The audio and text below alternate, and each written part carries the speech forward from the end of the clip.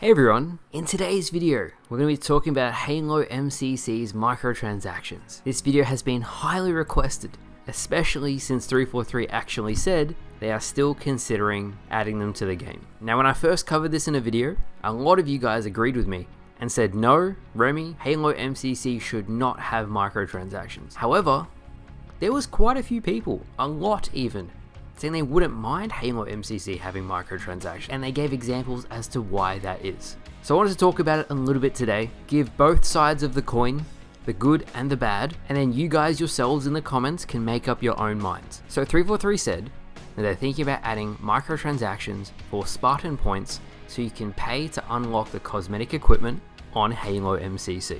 The initial reaction from the community was it's a really, really bad idea, don't do it. The community said it was bad, because with Halo Infinite's microtransaction system, it has been absolutely milked to maximize profits as much as possible, and they don't want to see the same thing happening to Halo MCC. That's what I personally said as well, but what I was concerned about more than that was if it starts with Spartan points, is that a way to get them in the door, and then even more microtransactions come later down the line? Where do we draw the line?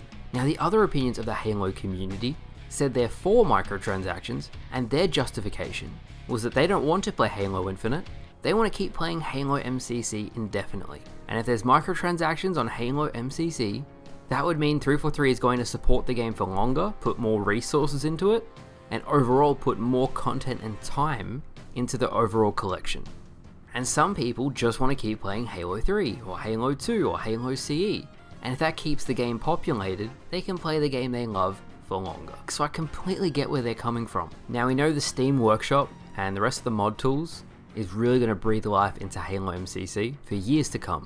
So the game itself is not going anywhere. Now if you didn't know, the actual Halo MCC team at 343 is a skeleton crew. It's very, very small. So as it stands, don't expect really huge updates going forward because there's only so much a small team can do in a certain period of time. And I think that's where those people who are for microtransactions are coming from. They would love to see Halo 3 and the other games continue to be supported for years to come. Kind of like old school RuneScape and RuneScape 3 both being supported with their own different communities. However, ultimately, it's going to come down to the community. The way I see it is if the community isn't extremely vocal that they're against it, 343 will probably add it to the game, put up with the backlash for a while, and things will just go back to normal. So time will tell. Now a video like this is very important because 343 is still deciding on what to do, which means if we want to have an impact and an influence on their decision, you guys have to give your opinions as to why you do or do not want microtransactions and state why you think what you do.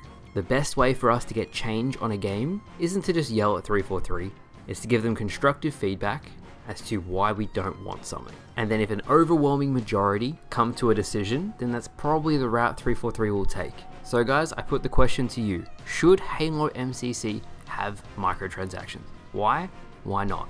I look forward to reading your comments because I have a feeling I know what you guys are going to say already. You guys know how I feel about it. Regardless of the decision, Halo MCC and Halo as a whole is going to have some wonderful years ahead. So thank you all for watching, hopefully you all enjoyed, and I'll see you guys later.